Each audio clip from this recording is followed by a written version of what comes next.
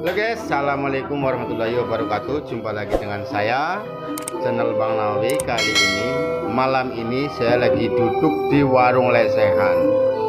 Kenapa saya duduk di warung lesehan? Karena saya malam ini lapar Jadinya ingin makan ke gede. Di mana gede ini tuh punya kawan saya Namanya Mas Darmaji. Dia punya bisnis di daerah Kebumen eh, di daerah eh, Pasar Seruni tepatnya tuh di pertigaan. Ah kita nggak perlu ke situ tuh guys. Yang penting kita malam ini makan-makan aja. Makan hmm, ada ayam goreng ada nasi goreng ada bebek goreng. Ini ada teman saya saya di sini ditemenin kawan saya. Oh halo guys. Nah, ini juga ada dari mitra bisnis Kebumen. Yang satunya tuh bos besar. Dia orang sudah uh, pembisnis yang sudah malang melintang di Kabupaten Kebumen ini namanya Mas Ari. Oh ya Sun ya. Oke bos. Nah itu kawan saya juga mau pulang rumah karena sudah malam. Dia barusan makan di sini. Uh, ini situasi biasa saya nongkrong di sini di warung lesan ini dengan kawan saya ini bos youtuber juga. Ini youtuber dari mitra bisnis Kebumen Hidayat Tanasari uh, ya guys. Uh, ini makanan saya malam ini. Nanti saya lihatkan.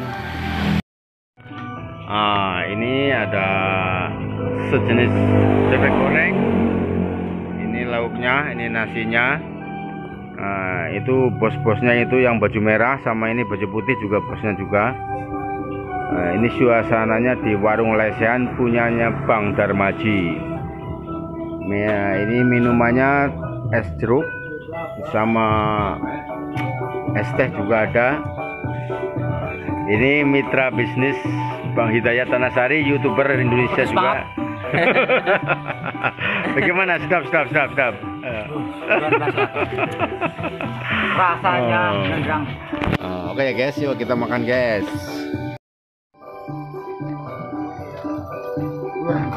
Dos. Ayo guys, makan ini makanannya.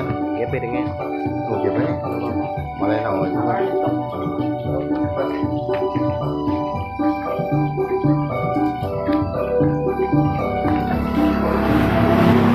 Biasa guys, malam-malam biasa lapar dan ini agak banyak nasinya.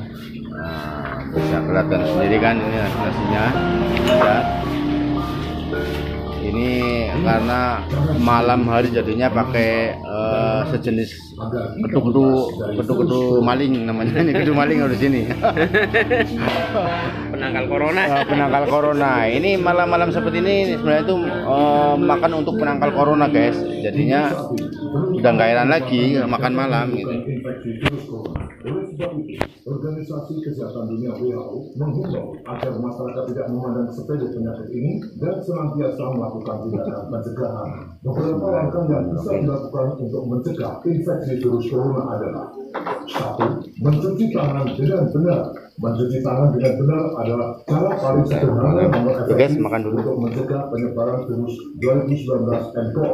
Cucilah tangan dengan air mengalir dan sabun, setidaknya selama 20 detik. Pastikan seluruh bagian tangan tercuci hingga bersih, termasuk punggung tangan, pergelangan tangan, sela-sela jari dan kuku.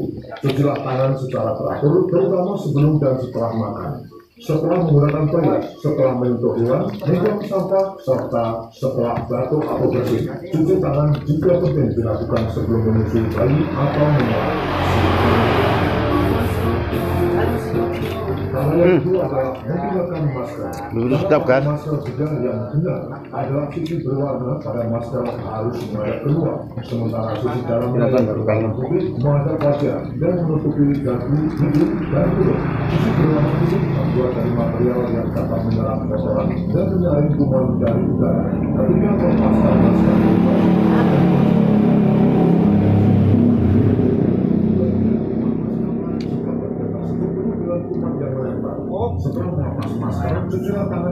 Lagi dulu ya guys, tinggal makan dulu, nanti kita bersambung lagi guys.